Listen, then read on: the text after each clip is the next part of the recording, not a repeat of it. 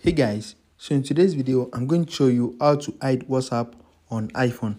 So if you want to hide whatsapp from your home screen app library and everything so if you want to hide whatsapp from your phone completely i'm going to show you how to do that.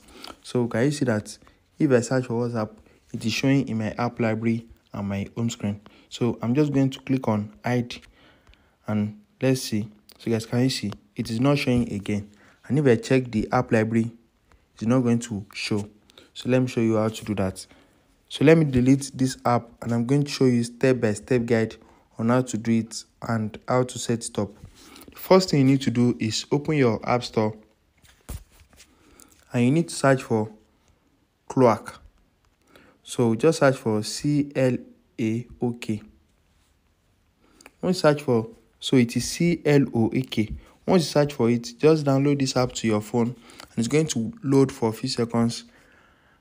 Once you have downloaded it just open it. So just click on open. Once you have downloaded it and it's going to ask you to accept screen time permission.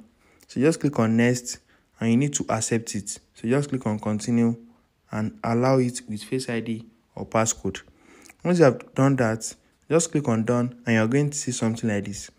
So the next thing you need to do is click on app group and you need to click on choose app. So you need to make sure you have select hide. So just select hide and you need to click on choose app. After that, click on social since WhatsApp is a social media app.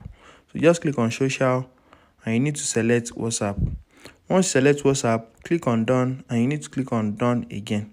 Once you have done that, you can now click on this add hide account just click on this hide and click on continue so you'll be able to hide whatsapp from your iphone completely. So if you don't want people to notice this app you can just remove it from your home screen. So just long click on the app and click on remove app. After that click on remove from home screen.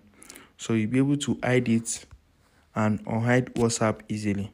So it's very easy to use. You can also hide other apps with this application. Just click on this place click on the apps click on choose apps and you need to select the app that you want to hide so if you have any question about this drop it in the comments down below. And don't forget to like share and subscribe to my channel. Thanks for watching guys